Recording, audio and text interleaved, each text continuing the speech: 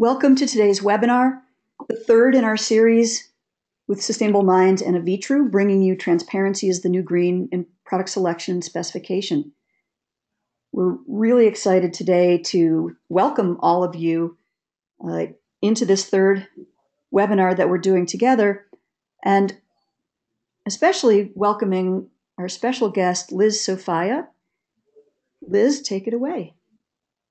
Thanks, Terry, and, and, thank you all for joining us today. As you might know, this webinar is part of an ongoing series. Last month, we introduced the trend report, and today we have the opportunity to actually take a deep dive and talk in more detail about PCRs and EPDs, so product category rules and environmental product declarations. And, and Terry is going to walk you through a lot of the detail with regard to the trend report, our methodology, the results, and also address the state of product transparency. We'll go through environmental reporting, the trends and totals, and also some detail behind the scenes in the Sustainable Minds Transparency Catalog. And then we'll talk through product group benchmarking. And for those of you who don't know Terry, we are um, we have been in a partnership for quite a while now, and, and Terry is the founder and CEO CEO of Sustainable Minds and has been for the last 11 years. And, and Terry's very humble, but Terry has uh, won some awards for innovation. She's been recognized by Gartner and nominated as a World Economic Technology Partner. So I'm, I'm thrilled to be sharing the, the next hour with Terry and learn from her because she really is a thought leader in the area of sustainability and, and a true friend to the AECO community.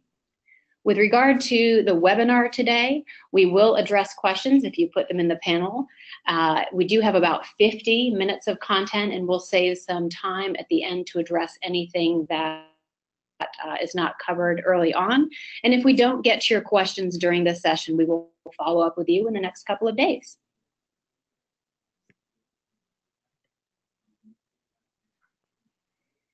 So I gave you the background on Terry. Uh, I am the Chief Marketing Officer for Avitru. Avitru, you might have known us formerly as Arcom. We went through an extensive rebrand and reimagination of how we view the industry back in November. And so we have, if you haven't taken a look at our website or checked out any of our social properties, I encourage you to do so. We are a strategic partner of the American Institute of Architects and the exclusive developer of MasterSpec. We have over 70, uh, 60 employees, uh, focused uh, architects, engineers. We have offices in Portland, Maine, Salt Lake City, Atlanta, Georgia, Alexandria, Virginia, and we are the most widely used guide specification system in the United States. So uh, with about 80% of the ENR top 100 using MasterSpec. And our commitment, our vision really is to construct a world where better building leads to better lives. So the partnership with the Sustainable Minds team is certainly very important to us. And I hope that you enjoy the content today. Thank you, Liz. We're pretty pleased to be here with you to be able to bring product transparency further into the mainstream through the reach that Avitru and the AIA have. So to add on to who is Avitru, who is Sustainable Minds, uh, we're a software company, just just like Avitru is, except our focus has always been to uh, build software tools for product manufacturers and now uh, for uh, AECs to be able to access product transparency information in the cloud to be able to get real real work done. Now, we are a mission based company, which means that our mission is to operationalize environmental performance into mainstream product development, manufacturing to drive innovation, revenue, and growth. It means that everything we build and everything we do is in service to achieving that mission to ultimately create real change uh, in the world. And you're going to see how that uh, plays out in the story that uh, we'll continue to tell you today. At Sustainable Minds, we have deep expertise in product transparency, lifecycle assessment, expertise, material ingredient disclosure, expertise. We are an ISO 14025 program operator, and we're going to get into a little bit of a deep dive on that, which was the content of, of uh, today's topic. And what we bring to all of that is also deep expertise in design, in customer experience, information design, and design of cloud software to be able to make really complex ideas clear and easy and accessible. And you're going to see that play out as well. I am the founder of Sustainable Minds, and uh, I'm a serial entrepreneur. My first company was an internet strategy and product development firm, so I've been doing this a long time. Um, our very first product, though, that we brought to market back in 2009 uh, was an easy to use lifecycle assessment tool that would allow product development teams to evaluate product concepts in early stage design and be able to make informed trade off decisions about any of the inputs across the life cycle to ultimately design greener products from the start. And so when you put this whole story together of this virtuous cycle of designing and marketing, of manufacturing and uh, ultimately specifying, uh, your demand for manufacturers to actually make higher performing, i.e., greener and healthier products, is what's going to drive that continuous improvement of products actually being higher performing. So we're going to dive into that and you know together with Avitru and why we're really both sides couldn't be more thrilled to be doing this together uh, is we know that you know the last mile from getting a manufacturer to making a better product and getting you the uh, building professional to find select and specify that product is actually making sure that it gets into the spec and it can't be switched out for something else. So, together, we're going to be working on making product MasterSpec more robust for manufacturers to be able to get language into their product MasterSpecs specific to their transparency disclosures. We're going to help you learn more about those manufacturers and their products so that you can make better informed selection specification decisions and you know bottom line make it easy to find those manufacturers and their products with transparency information whether it's at that manufacturer's website in the catalog and sometime soon this year uh, through MasterSpec. And through it all we're going to be delivering continuing education both to the manufacturing community as well as to you, the AEC community, on what is product transparency, what does it mean, how does it get used, and how can it be used to actually you know, drive this continuous improvement loop. So as a result, uh, Sustainable Minds does a lot of work and spends a lot of time uh, doing strategy work and you know what drives strategy well research and so we've really been uh, doing r&d since 2012 since product transparency became a thing because we'd already been working on helping manufacturers design greener products. And so now we saw the opportunity to help them market these greener products particularly into the building construction industry. So at the end of 2017 and this is the story that i'm going to tell you now you know, we saw a five year period from introduction of product transparency as a concept to product transparency becoming pretty well established, you know, in the hearts and minds of uh, people in the building industry who are of the mind of building uh, greener buildings.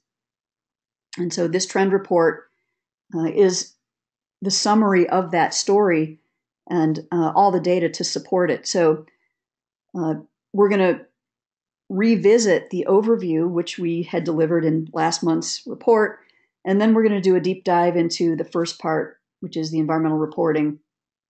And in a subsequent webinar, we'll then do a deep dive on the other piece, the material ingredient reporting. So we're not going to get into that topic today. So, like any technical document, uh, the trend report starts out with the definitions and methodology section and then presents the results right up front. So people who like to read executive summaries only need to read those two pages and you're good and you can go. So that's what we're going to do. Uh, so, starting out with definitions and methodology, um, this is actually how we collect the data for the transparency catalog. It's it was this R&D process uh, that has allowed us to build the catalog and continually continually update it with new manufacturers and new uh, new products and, and new uh, types of reports. So the intent of the catalog is to acknowledge and reward all the manufacturers who are investing in product transparency, whether they're doing a little bit or a lot.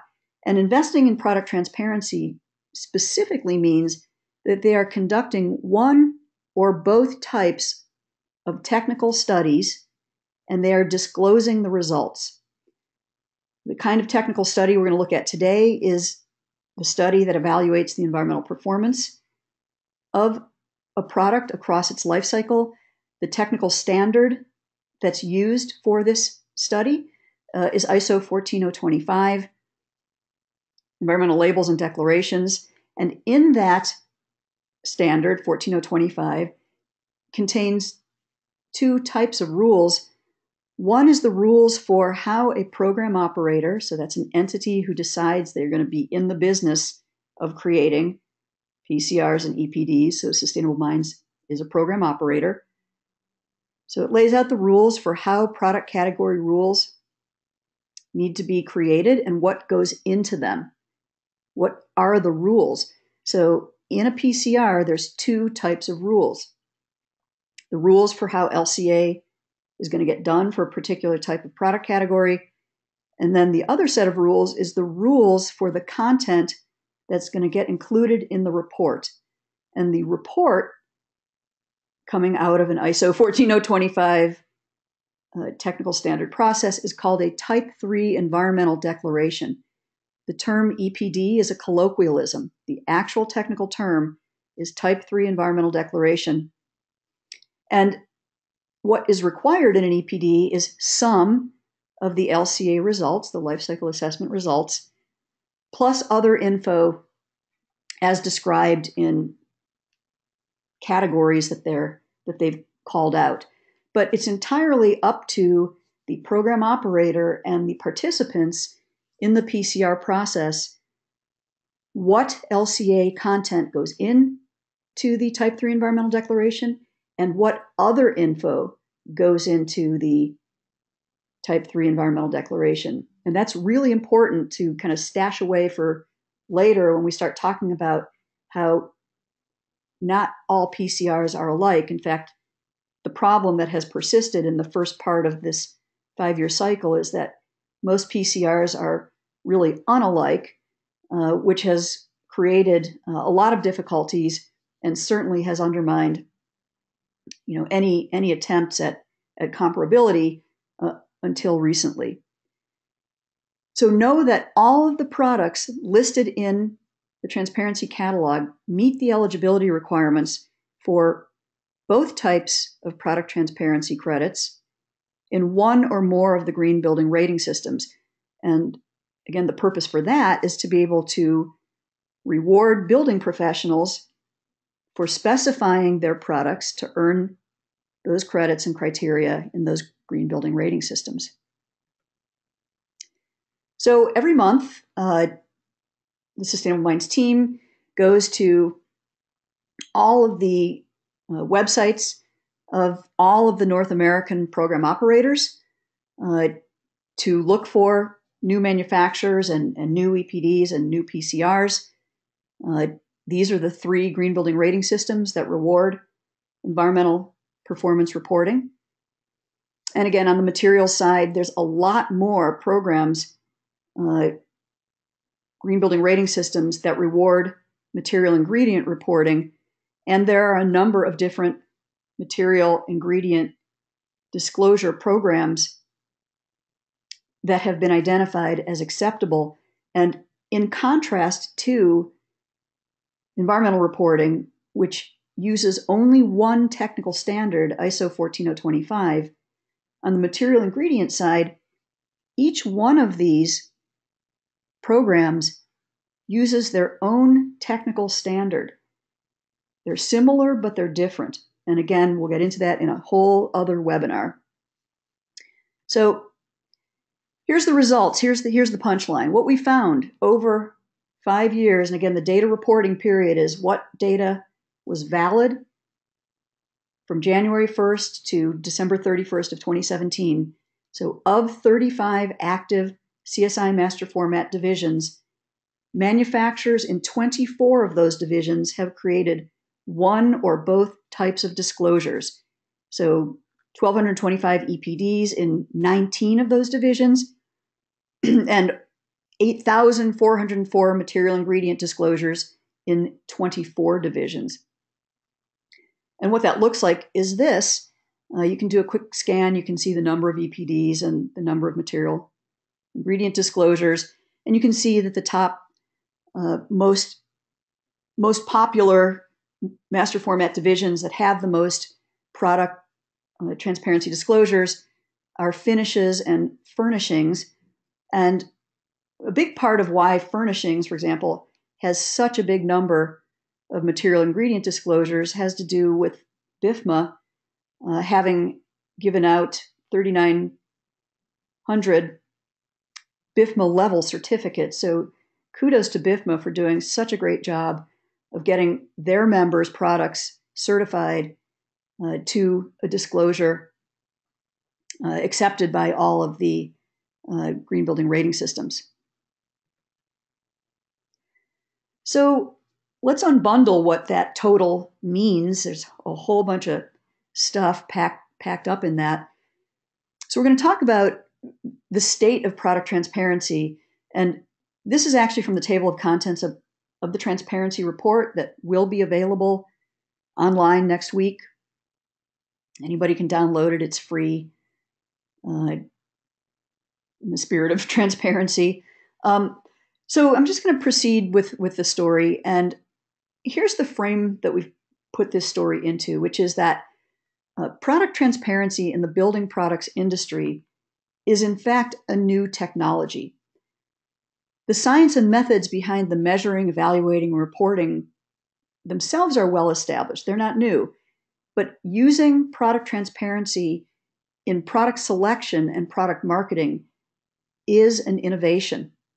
So when we go back and look at in 2012, when USGBC announced LEED version 4, and that product transparency was one of the cornerstone concepts, uh, they effectively were saying that look, single attribute ratings and certifications that were awarded in LEED version 3 are, are still important and they tell an important slice of a story in a given product category. But the problem was that uh, not all product categories had certifications or ratings specific to them. Uh, they were all different. Only a handful, like recycled content, could apply to more.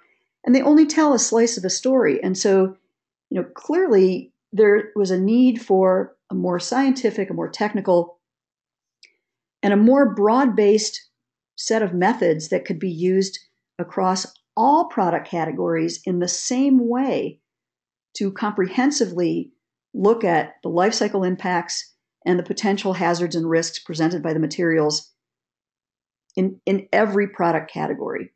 So that's not to discount the single attribute certifications. It's simply to say there's a new way of measuring performance, and that's by using one or both of these types of technical uh, evaluation methods. And so there is a really great uh, theory called the diffusion of innovations that helps us understand what what's happened so far and how it's happened and and will really make people feel confident that um, there is no turning back. Uh, product transparency has already been successful in uh, motivating manufacturers to make actually higher performing products. So, this diffusion of innovation theory says that uh, any technology uh, for it to become popularized requires four main elements uh, for that to happen uh, the innovation itself, the communication channels, some period of time and a social system. Um, and many of you, probably every single one of you on the call, have heard the term the tipping point. And so, uh, you know, we're kind of looking at when is the tipping point happening uh, in product transparency. And we believe very clearly, and the data shows, we are arriving at that tipping point. We clearly have, in this product transparency story, the social system of you, folks on this call, the AEC community, and the manufacturers making their products, the innovation of doing uh, product transparency uh, analysis and reporting over time, and every single participant in this space program operators like Sustainable Minds and NSF and UL and SGS, all the NGOs and nonprofits, USGBC, BIFMA, all of the other uh, uh, nonprofit organizations and industry groups, all of the media and solution providers, Building Green, uh, Mindful Materials, Ecomedes, everybody who has come into this space has been a proponent to raise awareness and really, really float all boats. And if we're all doing this for the right reasons, which is ultimately to reduce the impact of the built environment on the natural environment and human health, then everybody's participation in the way that they are participating has a positive contribution. So I'm going to tell you about Sustainable Minds contribution, and I'm going to show you what, what it looks like too, because showing is uh, easier to, to comprehend than just uh, words. So uh, back in uh, October of, of 2016 and in the months leading up to it, uh, we ultimately recognized that there was enough activity that had already happened in the product transparency space to start to scrape together uh, a place where uh, AECs could be able to find those manufacturers who were investing in, in product transparency. And when we went live uh, at Greenbuild in 2016, there were 350 brands from all of the places where we look, all the program operators and all the material ingredient disclosure programs, 350 brands who had done something, either a lot or a little, but they had done something. So you can see we launched with 350 brands. Uh, a short 14 months later, we had accumulated 961 brands and industry organizations uh, in the catalog, with a breakdown of 516 had done environmental performance reporting only, 405 had done material ingredient reporting only, and 93 had done both.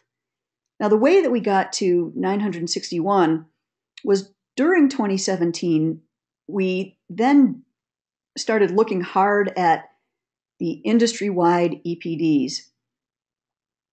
And the participants in those industry wide EPDs and the industry organizations who organized and sponsored those industry wide EPDs so we added all of those industry groups and the participants in the industry wide EPDs to the catalog. So that's 313 new folks, new, new groups added, plus 298 new manufacturers with product specific EPDs and or material disclosures, which this number, just this number, represented an 85% increase in the number of brands investing in product transparency in just in 14 months, which I think is a pretty significant uptick.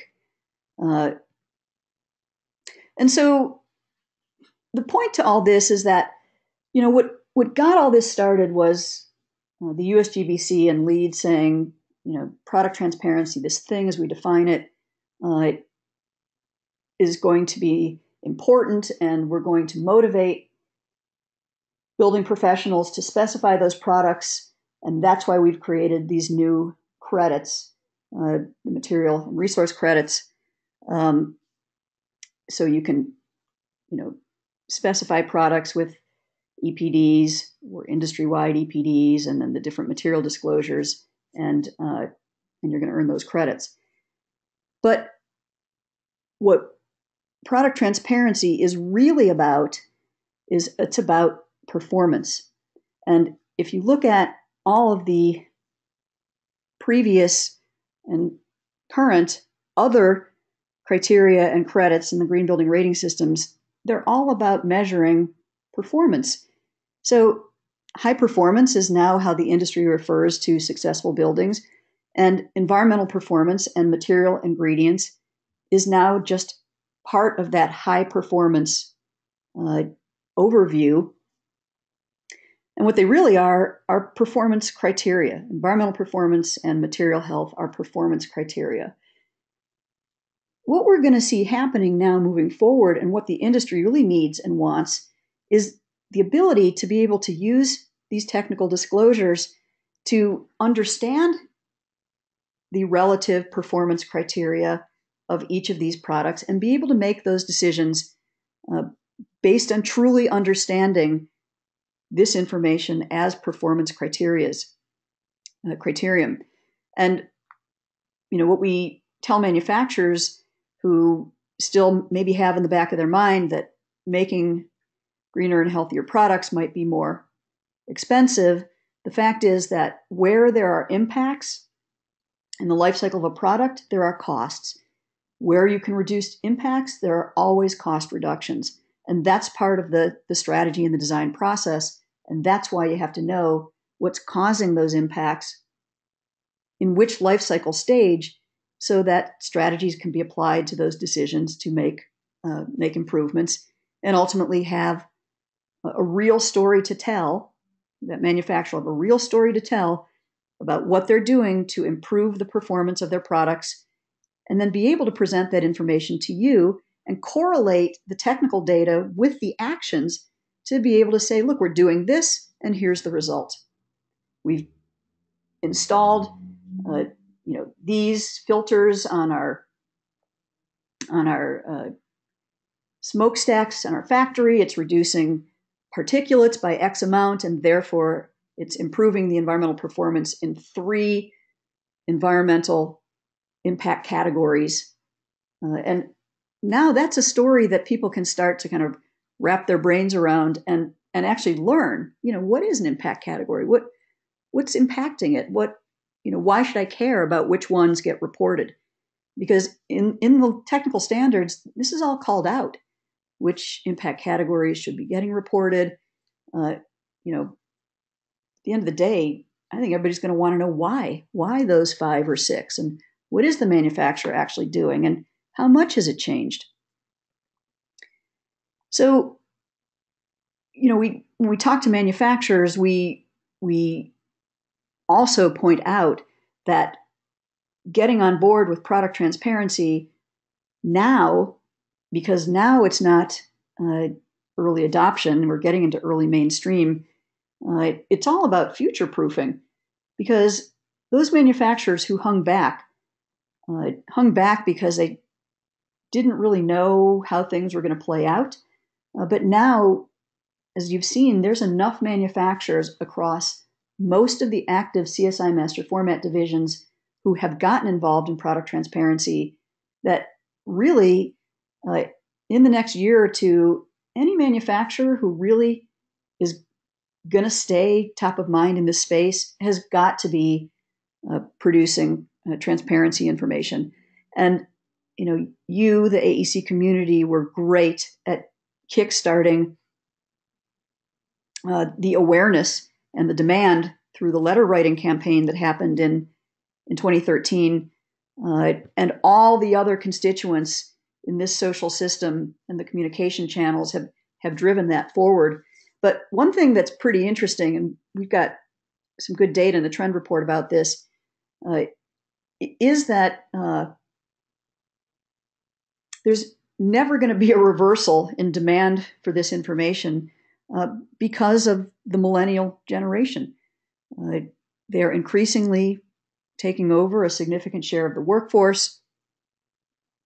And this is the generation that was uh, really born with devices. uh, relying on devices for data, making comparisons, uh, comparative decisions pretty much for anything that gets done. Uh, it's not going to be an option for manufacturers to not produce this information and ultimately make it understandable and usable to support uh, comparative decision making. So here's what's pretty interesting, uh, and I'm sure a bunch of you on this call, because when you registered, we asked, "Are you involved in uh, specifying products with transparency information?" Most most people answered yes, or at least selecting. Um, what the data cannot tell us, like we know how many manufacturers, we know how many EPDs, we know how many material ingredient disclosures. What we don't know is the number of products that those total number of disclosures represent. It's not countable because that information is not contained in the disclosures. So if we were to do a kind of back of envelope calculation and say, look, we at least know that there's you know a little over 9,000 total disclosures, the 8,000 something material ingredient ones, the 1,200 EPDs, so there's 9,000 something. If at a minimum each of those represents one product, which we know is not actually true, uh, Sustainable Minds even supported one manufacturer creating HPDs that covered over 1,200 products in each HPD. So one could uh, imagine a one to one correlation, uh, 10 to 1, 100 to 1, even thousands to 1. It's somewhere in that range.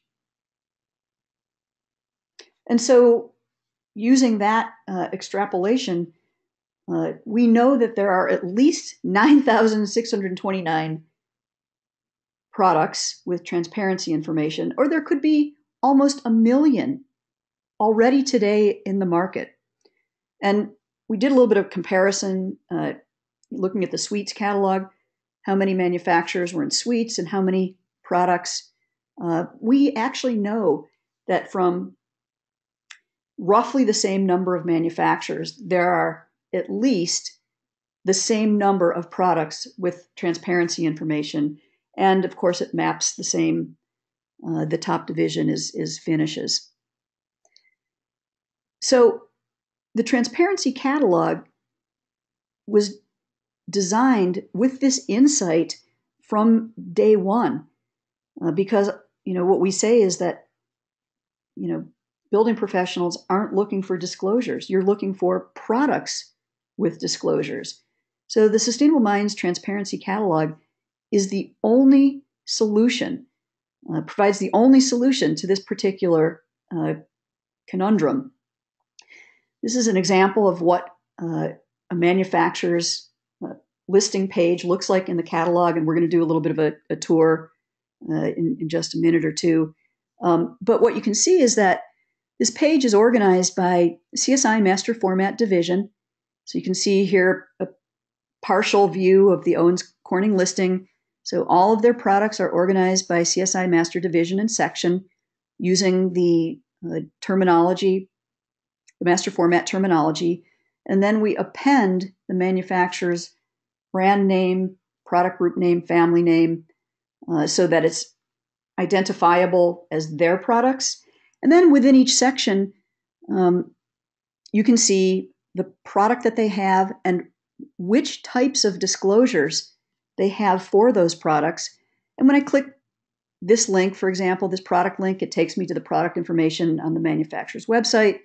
This one takes me to the EPD, and these take me directly to the declare label, the cradle to cradle material health certificate. And in a glance, anyone can see uh, that these disclosures are valid. Uh, and Owens Corning is in the process of updating their listing um, to keep their disclosures valid, and you'll always be able to see that. Uh, and you'll be able to see what they have for every single product all, all in one place.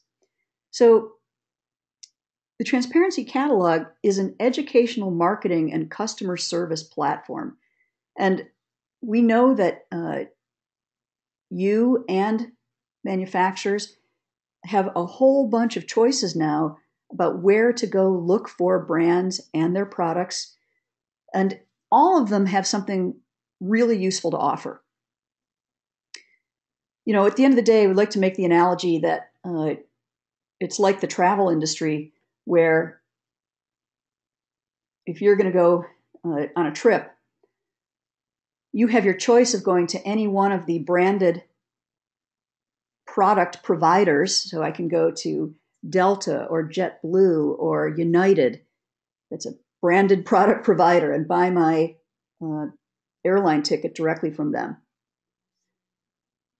I can go to Hilton or any of the other uh, hotel chains and buy my uh, room reservations directly from them.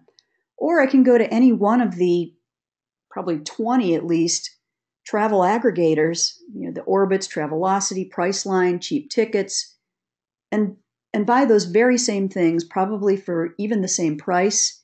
Um, so how how do you choose? How how do you choose which online tools you're going to use to help you get a particular task or set of tax, tasks done? And what it ultimately comes down to is what do you believe about the brand?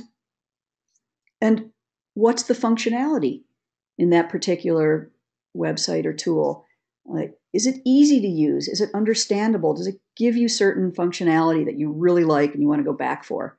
So, those two things combined uh, really kind of make up the considerations for how a manufacturer chooses where they're going to put their products to be found uh, and why, and by whom, not just uh, the AEC community. Because remember, Sustainable Minds' mission is to help manufacturers operationalize environmental performance. So they may be okay at making disclosures, they're not great yet at figuring out how to sell those products with disclosures, how to train their sales force, how to get this information to the hands of their distributors and partners, how to really get those architectural design reps who go out and do those lunch and learns for you to be able to, you know, quickly point you to products that they have, which disclosures, what are they doing, how do you map those disclosures to, to those rating systems.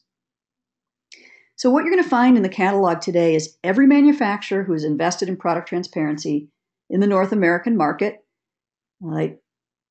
You're going to see their products and their corollary environmental and material ingredient disclosures, and all the products in the catalog meet one or more of the product transparency uh, eligibility requirements uh, for the range of green building rating systems. So, our focus today is on the brands. Remember, we're trying to reward those brands and get those brand names to be top of mind and build that credibility uh, so that their brand is creating preference to you uh, and make making it easier to find find their products. Now, uh, in a few months, we will be adding what you would expect to a website like this: uh, a filtering set of tools to be able to find products by CSI MasterFormat. They're already organized that way. But the reason that we've not implemented that functionality yet is because the transparency catalog is not a product database. Now, technically, yes, it has a product database behind it, but we really push back on being referred to as a product database. We're an educational marketing and customer service platform that ultimately is designed for manufacturers to save time uh, in marketing, sales, support, and training their organizations, saving time and money, improving their effectiveness, letting them actually have a measurable ROI on, on their investments, and at the same time, uh, helping AECs find all the brands and their products in one place, understand what they're doing to improve, share feedback with them, and be able to reward, reward those manufacturers by ultimately selecting and, and specifying uh, their products. And if we can do this collectively, everybody all together, this is how we're all going to create that change in the market that we're working to create, which is to create higher performing, less impactful buildings. I'm going to just um, go through some of the challenges uh, that are persistent in the marketplace and were articulated um, at Greenbuild in 2017 at a meeting that the AIA put together of uh, manufacturers, uh, AECs, and some of the solution providers. And coming out of that was this top list of challenges s- still facing uh, product transparency's evolution. And so uh, these were the top four things the need for education across the industry, the standardization of technical guidelines, the results and delivery, the ease of finding products with credible transparency information, and the ability for manufacturers to demonstrate an ROI. You know, I was um, not surprised that these came up as the issues, but pretty happy to be able to talk about how uh, we we are already uh, addressing those top four things, and and will continue uh, to do so. So you know, everybody needs more education. That's what the catalog is. That's what this partnership and these webinars are for. As a program operator, we've been working for four years to work on the standardization of technical guidelines, their results and delivery. The catalog is designed to make it easy to find those brands and their products, and for manufacturers to be able to get that, that ROI. So, the deep dive on the environmental reporting portion, we're going to take a look at that standardization of uh, standards and technical documents as one of the biggest uh, barriers to uh, environmental transparency reporting uh, being easier to do, uh, less uh, cost intensive as, as it is today, and ultimately more understandable by people who need to consume that information. So, quick view of some tools. Uh, Sustainable Minds put together uh, about a year and a half, two years ago, the very first place anywhere that actually catalogs all of the PCRs that have been created by any program operator in, in North America and organized it by CSI MasterFormat uh, so that now there really is one place for people to go. It's always kept up to date to find all of the PCRs. You can link right to it. You can see the uh, the uh, expiration dates, how current they are. Um, and so uh, in, in the trend report, uh, we're reporting that in by the end of 2017, uh, there were this many PCRs in each MasterFormat division, which were used to create that number of EPDs by that number of manufacturers. And so this is combined both product specific and industry wide. Remember, 68 PCRs for at least 19 of 35 MasterFormat divisions. So that's not uh, a ton yet. Um, and one of the challenges is that most PCRs to date do not include MasterFormat designations. And the reason they don't is because most PCRs, and especially the earlier ones, because they're so costly and difficult to do, cover more than one MasterFormat division, if you can believe that. And so, what Sustainable Minds does every time uh, we identify a, a, new PCR is we extrapolate uh, the most prominent CSI MasterFormat division number and then assign assign it to that uh, to that number, and that's how we uh, did our count. So uh, in 2017, 17 of those 68 expired, and six more are going to expire in, in 2018. And you know, each one of these PCRs represents a significant amount of work and time and money uh, to come together to create those rules that I told you about earlier. There are a lot of manufacturers who uh, have created uh, EPDs. That doesn't mean they were all involved in creating the PCRs, and that's a problem too. That people who ultimately have to use these rules maybe weren't at the table when they were get getting created. Uh, and ultimately, uh, we've talked about the number of, of uh, EPDs in total. Um, so, you know, the industry-wide EPDs rep- representing a small small number of, of the total. Um, but many, many manufacturers have been involved in creating these industry-wide EPDs.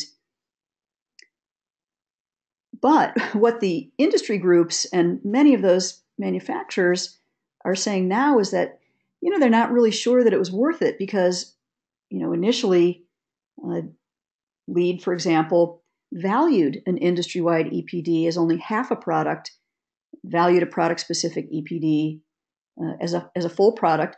And that makes sense because you know the manufacturer's doing more work they're being more transparent they're spending more time and money. But uh, many of those manufacturers who were involved in the industry wide EPDs are small manufacturers who never could have the money and time and wherewithal to ever do their own product specific EPDs. And so, in a way, they're actually being kind of punished uh, for not being uh, of the of the stature to be able to do product specific EPDs. So, you know, quick, tiny little news flash.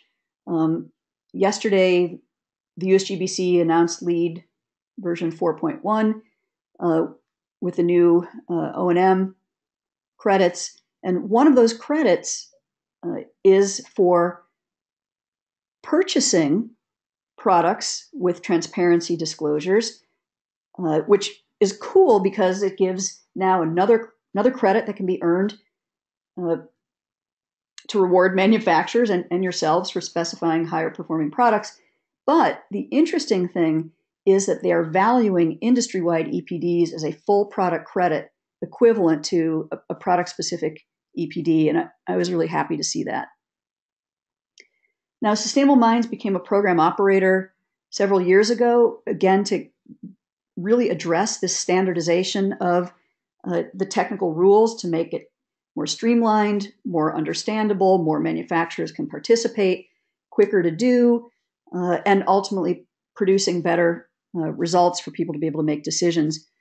Um, super quickly, uh, here's the overview. It's a two part PCR program, so all the rules for how LCA gets done is in the part A. Uh, remember, I mentioned that the PCR also includes the requirements for what content goes into the Type 3 environmental declaration. So this is our appendix to Part A that describes the content requirements for what goes into uh, a Type 3 environmental declaration. We call ours a transparency report. And I'll show you what that looks like in just a minute, but it's a Type 3 environmental declaration. It's just our kind. Um, so, very specific requirements for what goes in. And we really uh, are very, very critical in our assessment of what life cycle assessment information from the LCA, also known as the background report, is going to go into that type 3 environmental declaration. Uh, and our, our criteria is only information that's going to explain the environmental impacts and how the manufacturer is making the product better.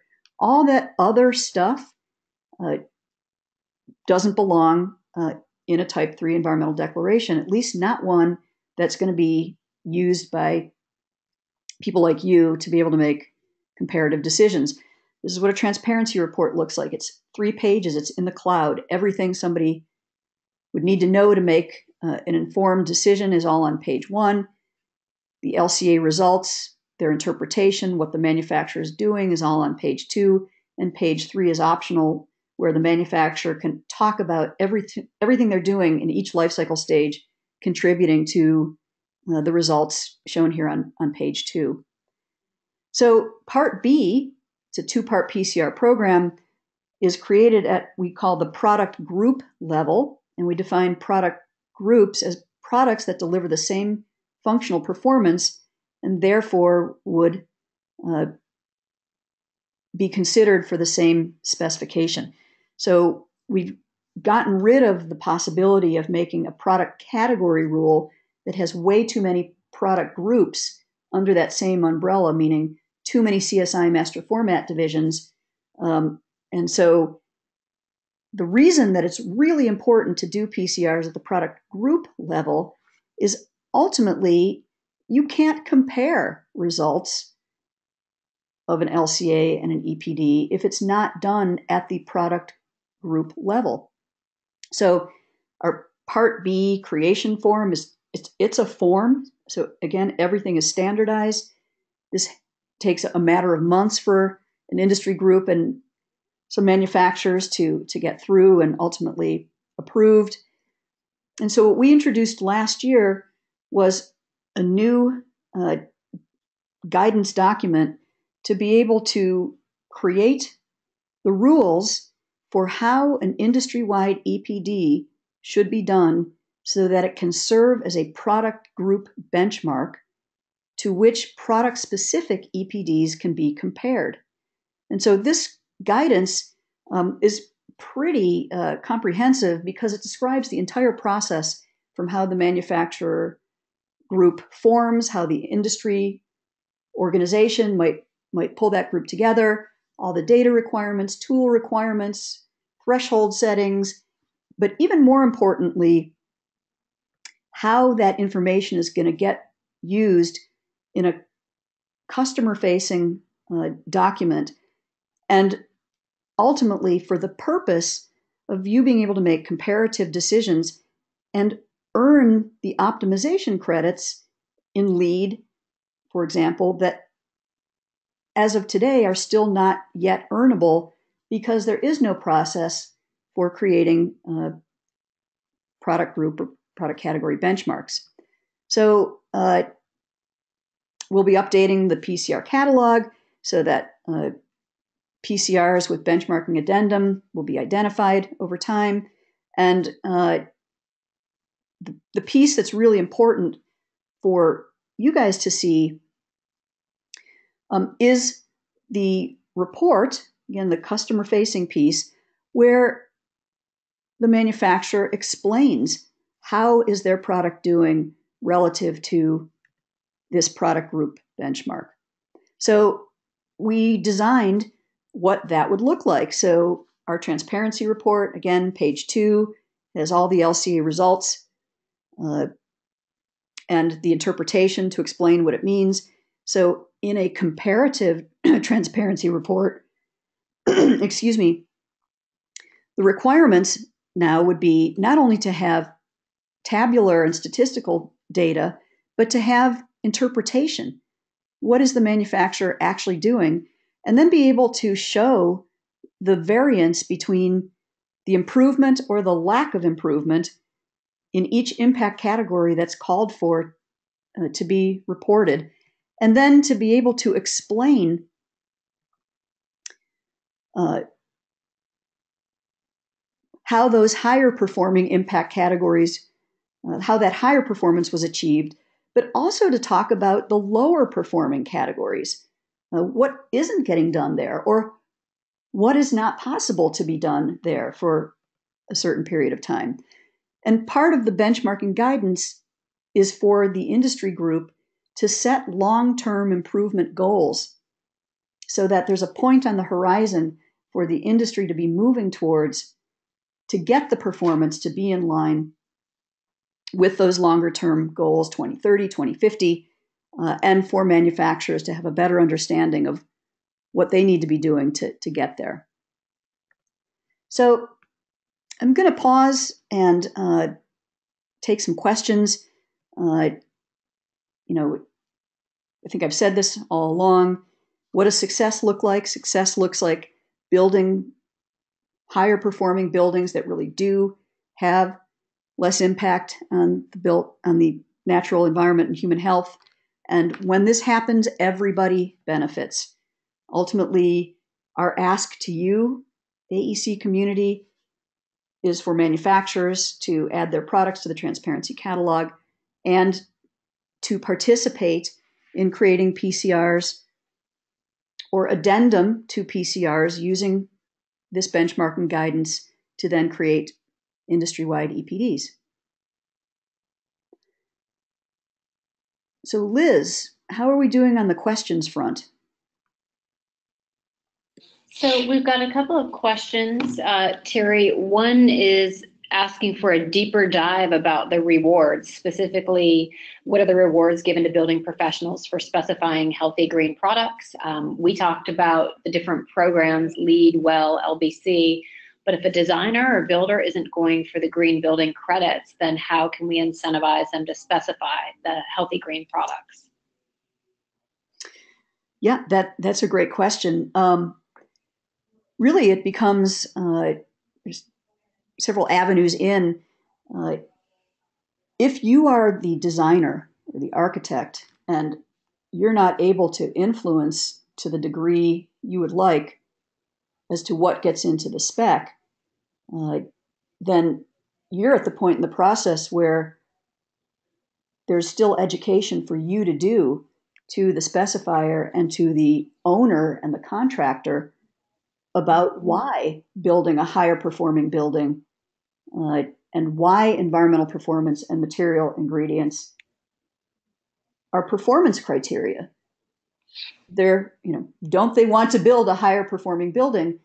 When you look at the cost to build, the cost to operate, the cost for occupancy, there's a whole range of uh, really important educational concepts to uh, convey, and that's something that we're going to be working on in, in terms of uh, curriculum, talking points, uh, webinars to really, um, you know, help you uh, make that case. And Terry, I think we have time for one more. I think uh, I can take this one. It says, what incentive do manufacturers have to develop their specs in MasterSpec format? Many manufacturers have their own proprietary spec in their literature or websites, but are not compatible with MasterSpec formatting. So uh, we can definitely follow up with you after this, but you know, a product MasterSpec can drop right into an architect or engineer's project manual, and it can match the formatting, the language, and voice with no additional work on the part of the architect or engineer writing the spec.